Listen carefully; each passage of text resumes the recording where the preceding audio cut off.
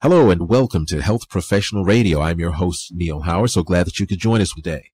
Many of us uh, deal with medical errors, preventable medical errors. We say that everyone makes mistakes, but when it comes to healthcare professionals, those that we count on to to uh, keep us healthy, and those that we go to when we're well, for lack of a better term, broken, we set the the bar kind of high. I would say. Our guest in studio today is Dr. Carol Gunn, practicing physician in Portland, Oregon whose life and professional mission was changed drastically after the loss of her sister due to preventable medical errors. She's since then become an outspoken advocate for patient safety and has begun collecting other patient stories as well. She believes with strong healthcare, transparency, and accountability, the, the tide will turn on medical errors. How are you today, Dr. Gunn?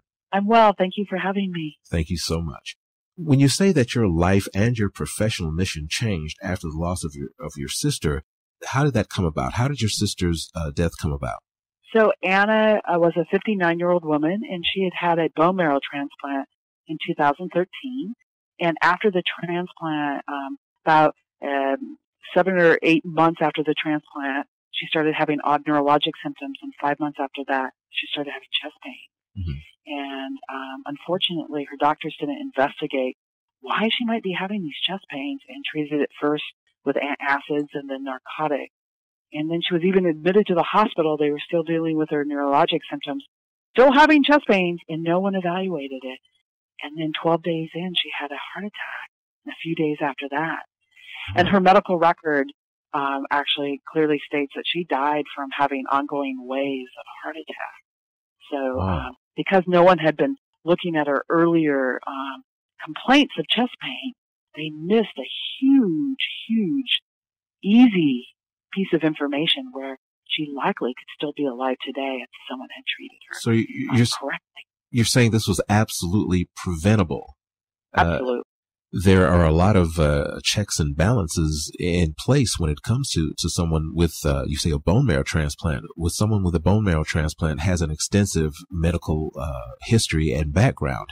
Um, are you saying that no one looked into her history to to say, well, maybe well, prior, well, prior to the transplant, they she had a full cardiac workup and she was great, mm-hmm. and she had been followed previously just for preventive care and had done well.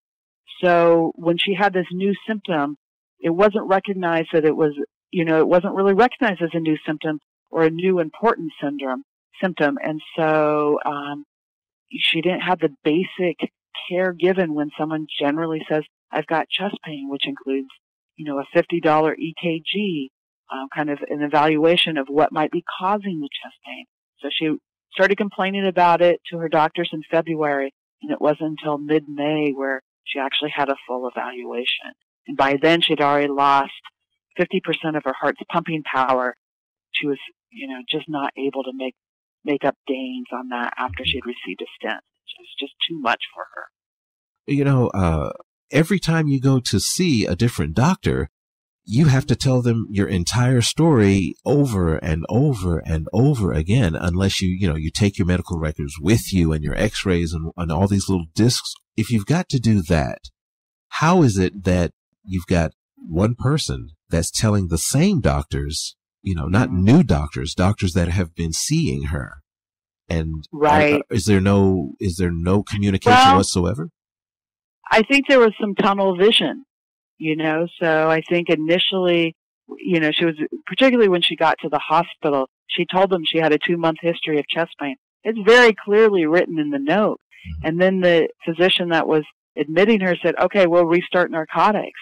And then the next team that saw her safer the next, and pretty much the rest of her day in the hospital said, okay, we'll continue the narcotic without anyone saying, why would she be having chest pains like this? Mm-hmm. You know, the, there was a lack of curiosity, if you ask. And was she, there was, was no. Was she yeah, by, was she by herself? Uh, yeah, we had friends and family coming and going with her down there, and um, uh, you know, I know she was admitted on um, in a in the you know early evening on a Sunday, and um, her son was with her, her college age son. But I'm not sure why. I mean, I think they just just thought because they looked at the old records and said, "Oh, treated it with narcotics in the past. we're just going to keep treating it with narcotics." And so there was just a big, colossal myth. Before your sister's passing, did you ever say, or did something ever ring any type of bell, any type of red flag that, you know, one, someone else who feels that uh, some type of mistake has been made? Uh, I mean, you don't want to you don't want to see one pill in a in a cup and then go all out and say, "Oh, you guys, you know, are incompetent." You don't want to do that. But what what are some of the things that a person should should look for, and how do they start the conversation? You know, do you pull the doctor aside and say, "Hey, you know, this is what I think," based on the fact that I'm not even a doctor? Yeah, I think you do start the conversation with the doctor and say, "Wow, that doesn't make sense to me. Can you tell me more about that?" I mean, we did do that. I mean, I mm-hmm. raised the question, why is she so short of breath? You know, why is this happening? We've got it under control. Mm-hmm. And so I probably could have been more persistent too. I still can't explain. It, it, it's almost mm-hmm. inexplicable to me why someone didn't fully evaluate that, particularly when I look at her medical records and how they describe why she was having. So with chest pains and heart issues, oftentimes you have shortness of breath, which she also had and they would ascribe this shortness of breath to all these other issues, which didn't make much sense.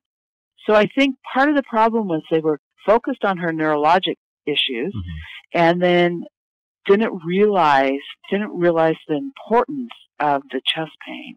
And she knew it. I mean, mm-hmm. and you know, I will say after they recognized that was after she had had a heart attack in the hospital and needed a stent you know, she and I were together in, uh, the next morning in the room, and she was mad because she knew how many times she had said it. And she actually thought they were, you know, when you're in the hospital, you don't always know mm-hmm. what medications you're being given and why. And she thought they knew. And she realized then after the heart attack that they had not known. And mm. she was mad. She was livid. Oh, absolutely. She asked me to go after it you know, she asked me, "Are you going to go after it?" And I said, "Do you want me to?" And she's like, "Absolutely. No one should ever go through what I've been through." Now, as a as an advocate for strong healthcare leadership, including transparency, you, you speak on a lot of different subjects. Uh, when you were recently at the Oregon Patient Safety Commission, uh, speaking uh, with with those leaders, when it comes to these electronic medical records, I mean, uh, we're talking about uh, when when doctors are actually putting inputting their own notes as opposed mm-hmm. to someone else putting in their notes. Uh, yeah, uh, Doctor. Oh yeah, acceptable use. Yeah. Yes. Uh, what when it comes to um, doctors spending so much time inputting records as opposed to actually sitting down and talking with a patient. Um, maybe, you, as you said before, tunnel vision. They they hear the same thing from the same patient, and they just want to they just want to get their notes done and turn that that box off. Yes, you're absolutely right. And I also presented at um, a local hospital here in their medical grand rounds, and that was one of the comments from one of my own mentors. He said, "Carol, we don't have time to sit down with the doctor or with the family anymore because we're we're spending so much time on the computer." It's like, but that's where we need to be. I mean, I, I don't know how to solve that without giving more time back to the providers, whether they're physicians, nurses, or whatever, you know, that is where we learn a lot of things, as well as sitting with the family member, because sometimes the family members have some pieces of information that um, the patient isn't able to describe themselves. And so without that kind of personal touch, we're going to lose this battle.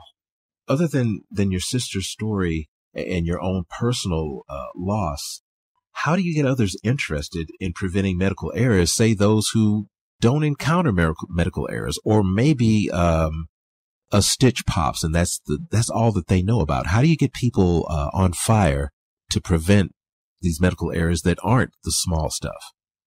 Well, I think it's just like any other advocacy.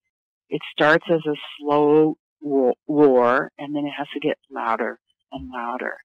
And with the number of errors that are being made, we you know the estimates between 200 and 400,000 deaths per year. That's a huge number. We know that lots of people are touched by that. That's our third leading cause of death. And so if we can just start talking medical about it, errors we- are our third leading medical errors are our third leading cause of death.